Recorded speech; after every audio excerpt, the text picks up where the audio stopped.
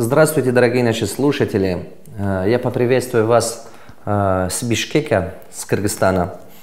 И вот я хочу отвечать на вопросы, э, которые пришли к нам на ежедневную нашу рубрику. Вот хочу ответить.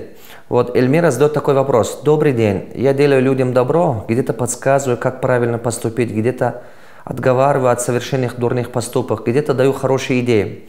Но э, после этого э, получается, что я делаю людям добро, но получается, что обратная реакция такая. Вот недавно на работе дала хорошую идею коллеге по работе, она использовала эту идею против меня. А я осталась в проигрыше, она выиграла. После этого случая я дала себе слово, что больше людям добро не делать. Но сделанное мною добро от этих же людей возвращается мне злом или неудачей. Скажите, как мне быть? Э, Эльмира, дорогая, делайте добро, независимо от того, они понимают это или нет. Независимо от того, как они отвечают. Потому что делая добро, мы сами становимся добрым человеком, мы развиваемся. Вот в этом особенности. Если вы не делаете добро, у вас не растет внутри вас ваша доброта. Будьте э, благодарны, если кто-то берет ваше добро. Любовь, добро, молитва.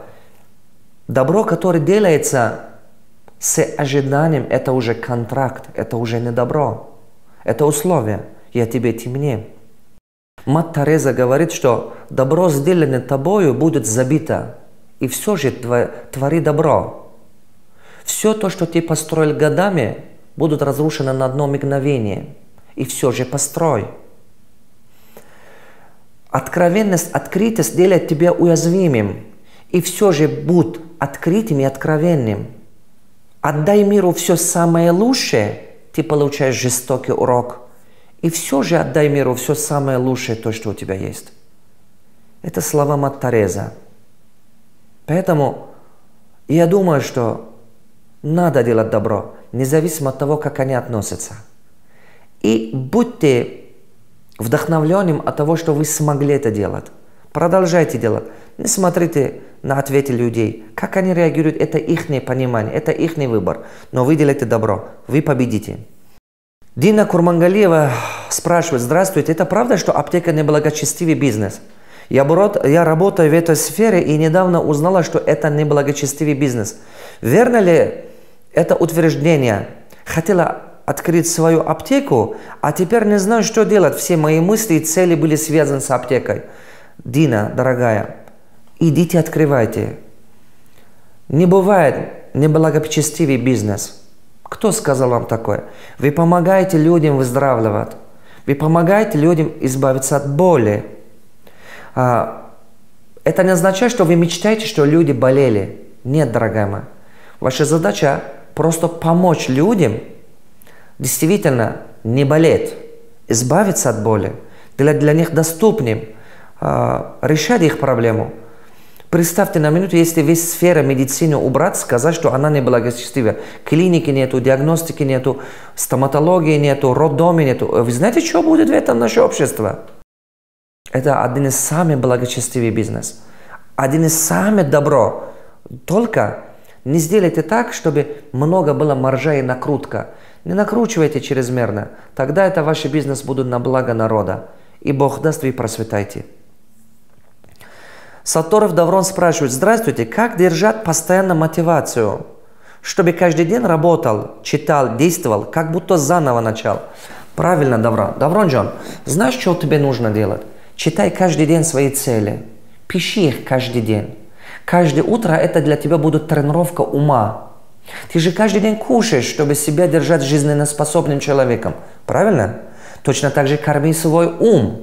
Если ты кормишь свое тело, не кормишь свой ум, твой ум не растет. Пожалуйста, каждый божий день корми свои мозги. Приписывай свои цели, почитай свои цели. Каждый день читай книги, заполняй новыми мыслями. Когда у тебя в голове будут постоянно твои цели, ты постоянно вдохновлен, энергичный. Но стоит, чтобы у тебя в голове забывалось твои цели, тут же твой мозг начнет видеть барьеры препятствия. Каждый вечер записывай, что ты сделал, то, то, что приближает тебя к твоей цели. Что ты сегодня сделал для этого? конкретные действия. Пусть она будет маленьким. От 5 до 10 действий пиши. Тогда ты каждый день будешь в состоянии вдохновленный. У тебя будет внутреннее состояние выше норма. Это ближе к энтузиазм, вдохновение на уровне действия. Ты готов действовать. А, Елена. Госпожа Елена спрашивает из Крым. Уважаемый учитель, почему так получается, я ставлю цели, цели, которые направлены на бизнес, а он у меня один, это стевой, очень медленно развивается или просто стоит без движения. А вот другие цели достигаются. Я решила для себя, что еду на ваш мастер-класс на озеро Сикуль. И вот я на старте оплатила уже сам мастер-класс. И теперь собираю деньги на поездку. Запланировала с мужем поездку в Екатеринбург, и вот мы туда и летим. И так много примеров. А вот твой бизнес стоит на место. А, бизнес твой требует много внимания. Я еще работаю на основном работе и получаю очень маленькую зарплату. Бросить, бросить работу, боюсь, пока от твоего бизнеса заработок не, тоже небольшой. А, что делать? Дорогая Лена, делайте так. Если вы работаете с твоего маркетинга, с твой маркетинг, он работает по принципу философия китайского бамбука. Э, я сейчас выпускаю новую книгу, эту притчу я туда расписал. А, послушайте внимательно эту притчу. Когда-то к монаху пришел человек и говорит, вот я работаю, работаю, дело не идет. Я занимаюсь бизнесом, дело не идет, успех не идет. И тогда мастер, а, мастер Дао, позвал этого Э, человека и ввел его у себя за двором и показал в огороде, где он сажал бамбук, еще одно растение. Я тот растение забыл, правда, как назывался.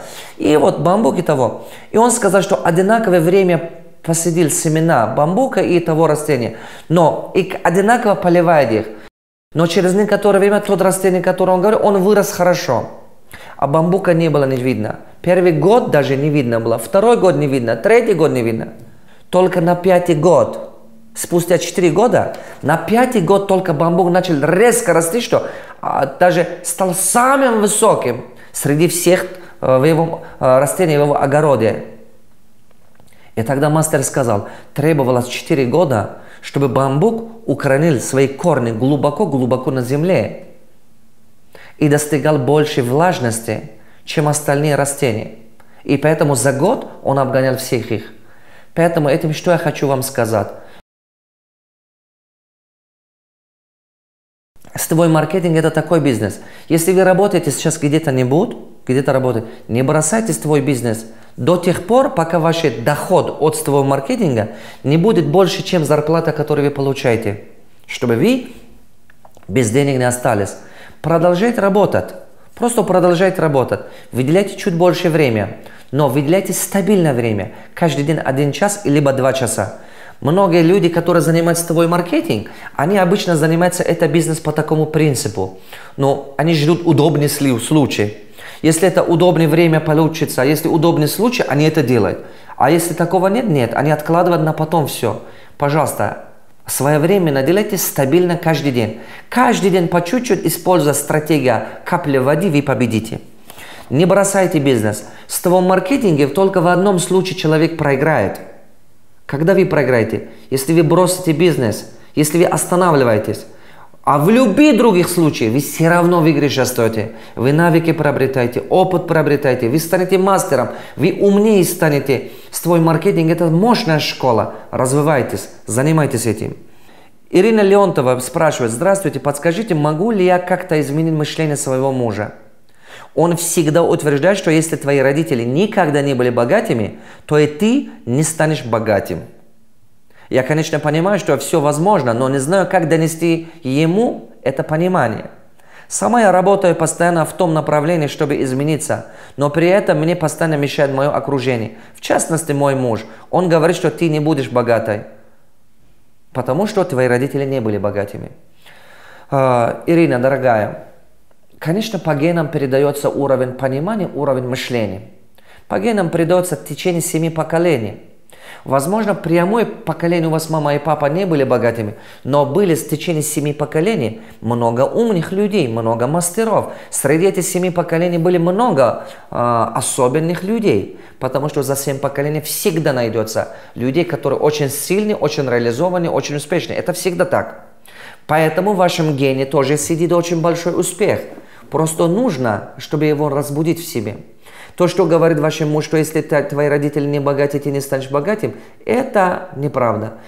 Это правда станет для тех, кто верит этому, кто делает от этого для себя правила. Любой человек хозяин своей собственной жизни. Вряд ли папа или родители, скажем, Юрий Гагарин летели в космос. Вряд ли.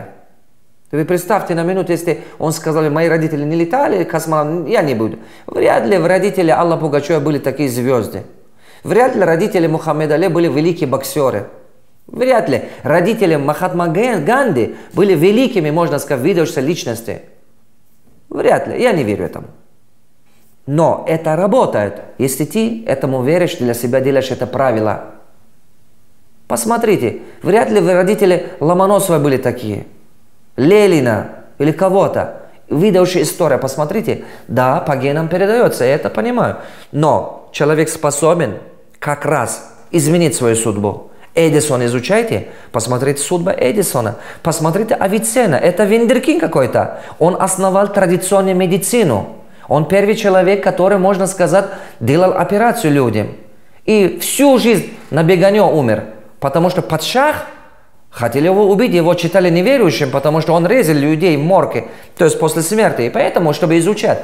Если внимательно посмотреть все великих людей, мы поймем, что эти люди сами создавали себе судьбу. Пожалуйста, э, ваш муж, я понимаю, вы ему говорите, что приведите те примеры, которые я вам сказал. Посмотрите в жизнь много богатых людей. Например, Роберт Касаки. Его папа был бедный. Богатый папа, бедный папа он писал. Правильно? Это конкретный пример. Он же говорит, что его папа был чиновником, который бедный, который постоянно думал о долгах. Родной папа был такой. Он ходил, учился у друга, отца своего друга и стал богатым. Это прямой пример. Таких очень много. Очень-очень много. Поэтому дайте книга, а, именно пусть он сам почитает эти вещи, пусть увидит. А, тогда он поймет вас. Много примеров. Я знаю очень многих богатых людей, которые они, э, э, не были богатыми сначала. Поэтому задавайте актуальные вопросы, ставьте лайк под это видео, рекомендуйте своим друзьям, знакомым. Пусть они задают свои вопросы, волнующие им вопросы. А, вдруг мы через это поможем кому-то. Вы станете причиной изменения жизни кому-то человека. Распространяйте добро в мире, распространяйте мир в этом мире хорошего, тогда заполняется в вашей много хорошего. Каждая поддержка, которую проявляете, каждый поступок, который мы делаем с вами, это есть та семена, которую мы сажаем. Мы как садовники. Мы как садовники, сажая добро, получаем плоды добро. Поэтому, дорогие мои, рекомендуйте эти каналы своим друзьям, знакомым. А вдруг это кому-то поможет? Вдруг ваш, ну, ваша рекомендация станет причиной изменится судьба человека. Нам об этом не знать пока. Только один Всевышний знает. Спасибо вам, что посещаете и э, слушаете нашу рубрику. Спасибо. К вашим услугам, Давлатов.